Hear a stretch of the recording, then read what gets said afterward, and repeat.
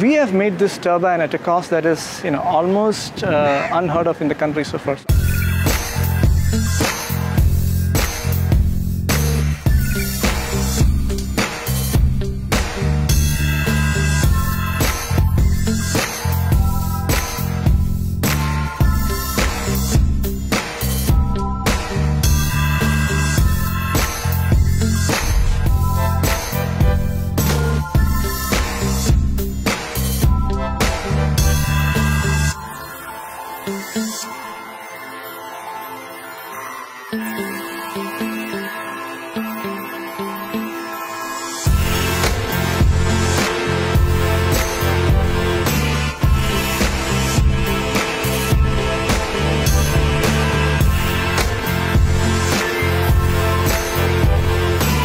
Whatever power they produce uh, for the rest of the life of the wind turbine, which is around uh, 20 years, will be free electricity, electricity to them.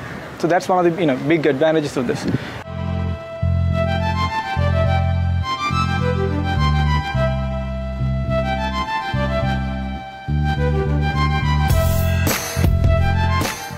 In Indian context, I would say that uh, we are developing, we are uh, doing uh, so many things, but it is not uh, sufficient or we didn't tap the full potential.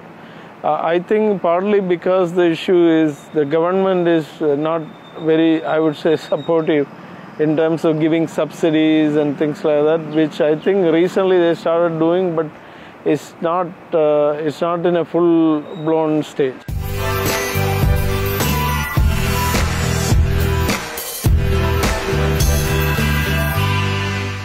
So this is going to be uh, like a grassroots movement, which will enable a lot of people in our state and our country to start using renewable energy and reduce our dependency on uh, fossil fuel generated electricity.